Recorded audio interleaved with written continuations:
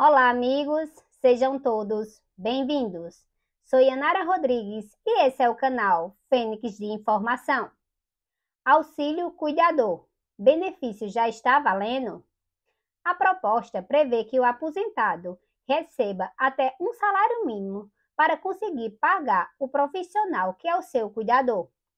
Cuidar de idoso é uma atividade considerada uma área de atuação de profissional da saúde no entanto, não é considerada uma profissão, pois não foi regulamentada por lei.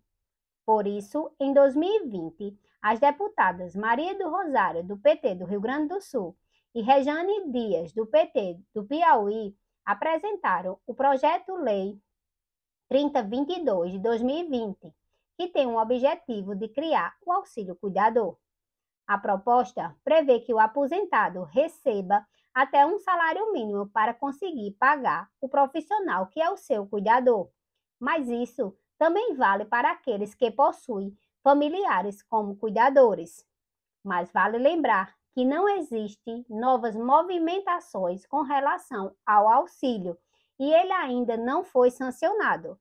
Caso aprovado, o acompanhamento e fiscalização do auxílio cuidador será feito pelos conselhos municipais de assistência social, de saúde, da pessoa com deficiência, do idoso, serviço de assistência social e estruturas semelhantes do município.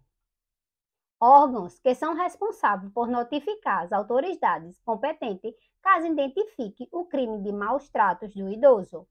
Requisitos: Caso o auxílio venha a vigorar será necessário para a concessão deste benefício que a renda da família interessada seja de até quatro salários mínimos.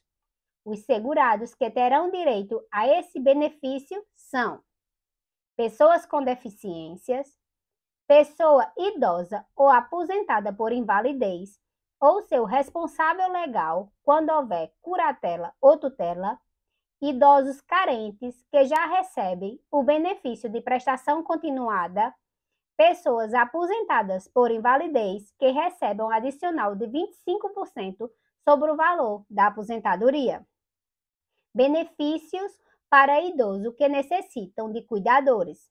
Atualmente, os idosos podem contar com o BPC, porém, ele não é um benefício exclusivo para custear encargos com os cuidadores. O benefício de prestação continuada, o BPC, previsto na Lei Orgânica da Assistência Social, o LOAS, é um auxílio assistencial concedido pelo governo federal para segurados maiores de 65 anos ou portadores de deficiência que não consigam exercer suas atividades laborais. Trata-se de uma ajuda do governo federal para as pessoas de baixa renda no valor de um salário mínimo, que tenham mais de 65 anos de idade ou de qualquer idade, se tiverem alguma incapacidade de longa duração. Já os deficientes que precisam de ajuda de cuidadores podem contar com um acréscimo de 25% no valor da aposentadoria por invalidez para ajudar com os custos de ter um cuidador. Se você gostou desse conteúdo, inscreva-se, dê o like, comente e compartilhe. Deus abençoe a todos. Grande abraço da família do professor Walter Júnior.